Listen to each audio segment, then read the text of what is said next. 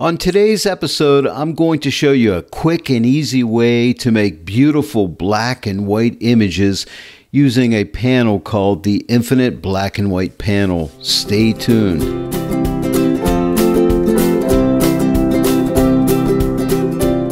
Hello, everyone, and welcome to the Joy of Editing with Dave Kelly. I love black and white photography. I think it is a very creative uh, art form because we normally see color, right? But when you turn an image into a monochrome black and white image, it brings out a more artistic quality to it, in my opinion. Now, there's many different ways in Photoshop of making black and white conversions, but today I want to show you a panel called the Infinite Black and White panel. I want to introduce this panel to you.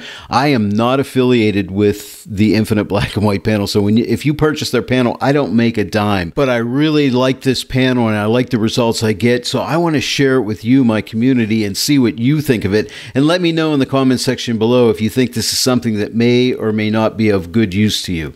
I'll also leave a link in the description below in case you want to check out the uh, web page and you can purchase the panel there if you want to. Now, again, I don't make any commissions from this panel. I just really enjoy it, but you can purchase it here and uh, it ends up costing you like right now $84 if you use their coupon code BW. Is it worth it? It's kind of on the expensive side, but I bought it and I think it's good, but you'll have to decide that for yourself. But watch the video and let me know what you think. Let's go ahead and take a look at this infinite black and white panel. Now, I really like it and it's really easy to use. So what I'm going to do is see this button right here called Create.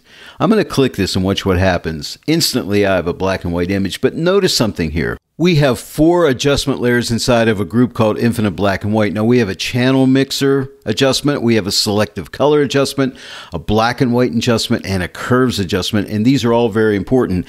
And it's extremely important too where this black and white adjustment sits because these two adjustments, channel mixer and selective color, are working on the color portions of the image because the image doesn't get changed to black and white until that black and white adjustment layer does that conversion. And it sits above selective color and channel mixer. There's also another little side note about this panel. You can also use it for color grading your images. You don't have to use it strictly for black and white. You can also use it for color grading your images. So stay tuned for that. I will show you how that works as well. And it's it's really cool. This panel is simple to use, but there's a lot to it. I'll show you everything here. But it's just that easy to create a black and white image by clicking create. Now watch this. Every time I click create, you'll see a new conversion. You see that and it alters. And you can just keep clicking through here till you find something that you really like. And when you find something you like, you may say, I really like this, and you could be done right at this point. If that's all the deeper you want to get into it, that's all you have to do, but you can do a lot more. Let me show you something with the history panel. If you come up to the history panel and open up your history panel, you could go through, see every one of these that say infinite black and white. Here was the first conversion I've done. Here was the second one. So you can go through these because you might say, you know what, I liked one of those ones before this one I just made. So you can go through your history and go back and forth and find the one that you like. And then you could even say, like, you get one that you really like, you can make a snapshot of that and now that's up in your snapshot, right? So you can come back and get that again if you want to. So you can come here now and click on the infinite black and white panel and keep clicking away. And you know, you might say, "Oh, I like that one." You can come to history and let's create a snapshot if you want for that one. And now you'll notice we have two snapshots, this snapshot and this snapshot. So there's many different ways of using this panel. You can use your history, which is really nice. So you can, you might say, well, how, what if, what if I get one and it was a while ago? Well, just go up into your history and you can find it again, which is really nice. Next, let's take a look in this area right here. See where it says light, medium, and intense. Right now I'm on medium, but if I click this onto intense, now my conversions are going to take on a more intense look. So let me click create now. And I'll just click through these. So I'm getting a little bit more intense black and white looks. And you may see some faded looks, some very high contrast looks. It's going to alter. And I showed you medium first, but let's go to light. If you go to light, you're going to get some very uh, you know, less intensive looking black and white images, depending on the mood that you're looking for. And I like to go through all these and just see what kind of results I get. And it's it's fun with this because you can just click and get some fantastic black and white results. And I really enjoy that. But let me go back to medium because I think I had some good medium ones in here. But remember, I got my history panel so I can come up and I think snapshot 2, snapshot 1. I think I like snapshot 2, so I'm going to go back to snapshot 2. And now let me open up the infinite black and white panel again. Underneath the light, medium, and intense, we have something called regions. I'm going to show you that here in a little bit, but, but stay tuned for that. But next I want to come down into this area. See where it says shuffle on and off?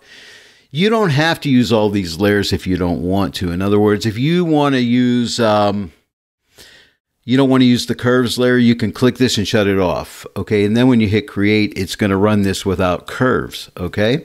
Or if you say, you know what, I don't want the selective color, we can shut the selective color off. And now when I run it, it's only going to apply black and white and channel mixer. So can you see the endless possibilities here? So you can mix and match, do whatever you want, use them all, or just use some. Or what if I only want the black and white? Uh, adjustment layer. So I can just use it and go through that, which is really nice. Or I may say I want them all. So that's one thing you can do. And let me click create again. And okay, right there. Say I like that. Now I can start playing around here. See this area where it says shuffle? I could come here and I could shuffle the selective color and it's only going to affect the selective color adjustment. Okay, so let me go ahead and open up the selective color properties here and let's put this on reds. Now it's going to affect all the different things here. Like for instance, um, I, not things, but colors, right? Reds, yellows, greens, whites, neutrals, blacks. It's going to affect them all. But I'm just going to leave it on reds. And watch when I click the selective color here. I'll shuffle that and it's going to see how they're changing and altering. That's just reds. But if I went to another one of these colors like greens, when I click the uh, shuffle, it's going, going to be affecting the green tones. You see that? So you could come here and just play with this, or you may want to just alter, shuffle the black and white. So you can shuffle the black and white like so. Okay. And you can also go ahead and adjust these manually if you want. So right now we're on black and white. Now that means I could come to reds and if I want to darken the red colors down, anything that was red will get darker. See, like the roofs there, isn't that cool? Or I could use my targeted adjustment tool and select different parts of the image. And if you don't have it, come to the hamburger menu and click on Auto Select Target Adjustment Tool. Now, if I want to darken the blue parts of the sky, I can just drag my cursor to the left and to darken it to the right to lighten it. So I can select any color tone that will be represented behind that uh, targeted adjustment tool. Now the same holds true for any of these adjustments. If I wanted to go here and click on selective color, now I could come here and alter the selective color of any of the colors I want, like reds, which would be in the roof here. If I wanted to take cyan out of the reds, we could see what would happen there. Selective color is quite an interesting adjustment. In other words, in all these different colors, reds, greens, blues, yellows, cyans, there's cyan, magenta, and yellow components to them, and there's also red, green, and blue. The opposite of cyan is red, the opposite of magenta is green, and the opposite of yellow is blue. So you can really tweak these tones and really make your black and white just the way you like it. Now, this is when you really want to go in deep into black and white adjustments. But again, you don't have to do this. You can simply just hit the create buttons or shuffle things around or shut things on and off it's really endless what you can do. The, the possibilities are infinite, as the name of the panel states. Before I leave selective color, let's click on blues because we know we have a lot of blue up here in the sky. So let's see what happens if we add cyan to the blue so we can darken that a little bit. Or we can lighten it if we go the opposite way. So let's darken it. What happens if I add more magenta not much, or I can take magenta away. Not much is happening there. Let's try yellow. Now, yellow is important. Remember, the opposite of yellow is blue. So if I go to the right, I'm adding more yellow to the sky. If I go to the left, I'm adding more blue to the sky. So we can play with that and see what happens when we make those adjustments. And then we also have this one called black. And if we take this to the right, we can make the sky darker. Or if we take it to the left, we can make it lighter. And you can also work with your whites, neutrals, and blacks as well. And if you click on, say, neutrals, you know, you have cyan, magenta, yellow, red, green, and blue as well in those. And so you can play with these as well to your heart's content and really, you know, really alter the image. So I highly recommend you play with that, but you don't have to. Believe me, you can simply just come here to this panel and, you know, hit the create button, you know, and do the different adjustments.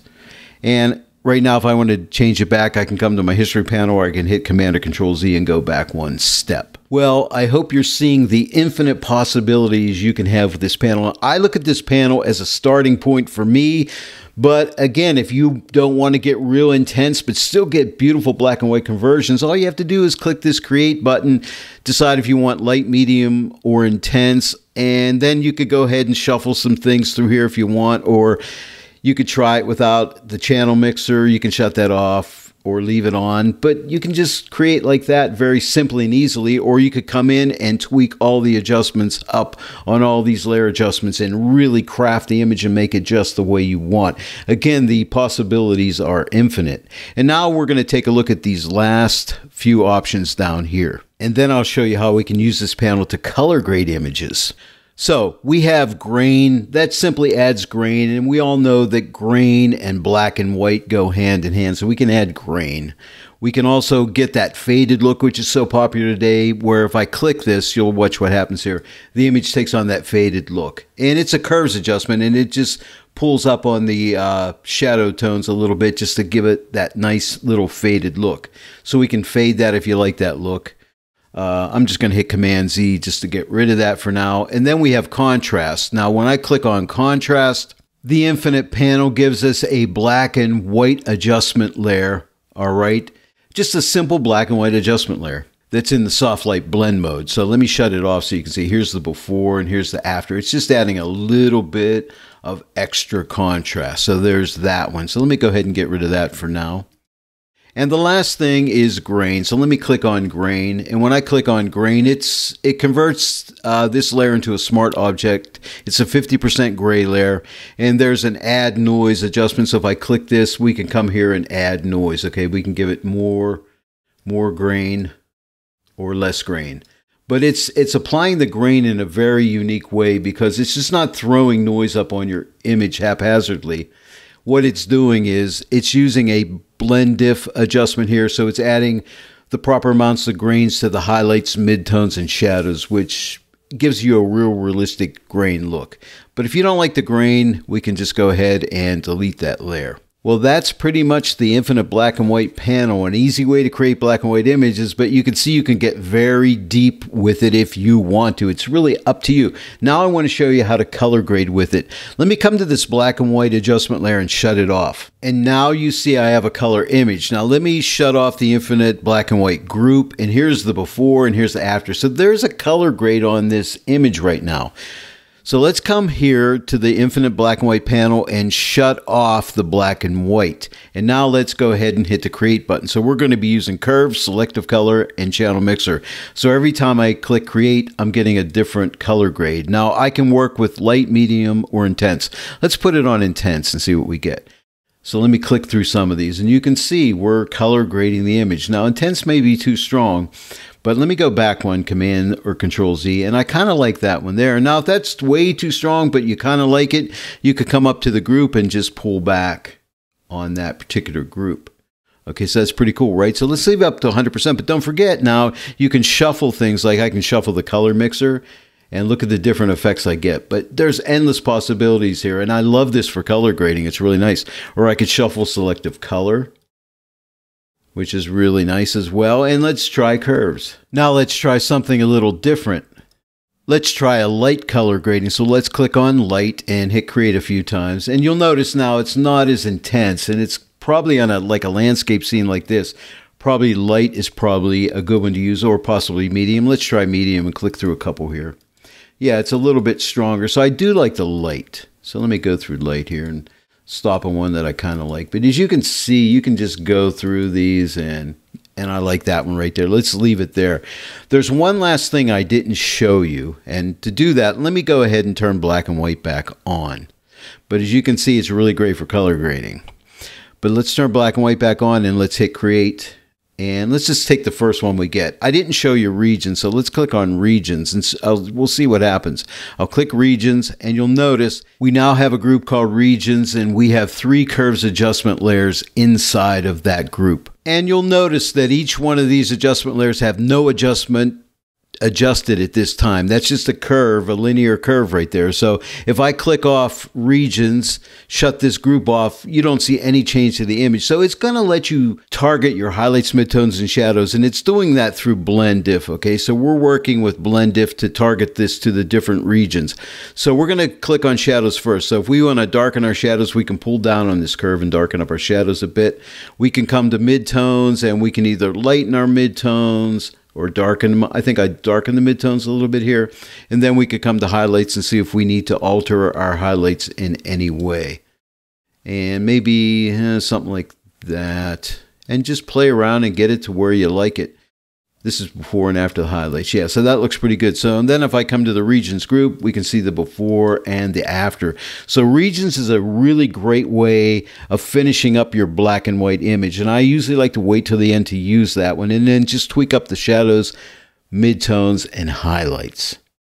And you can also use that when you're doing color grading as well. Well, there it is. That's the infinite black and white panel. Great for making black and white conversions. You can go basic with it and get really great results with just a one click, or you could go ahead and go crazy and make tons of adjustments and craft your image just the way you want. The the possibilities are infinite and you can also color grade with it, which I think is a terrific added bonus. Hey, if you enjoyed this tutorial today, please give it a like and share it with your friends. And if you're not yet a subscriber to my channel, please subscribe, click the bell notification icon. Then every time I upload a new tutorial, you'll be notified about it.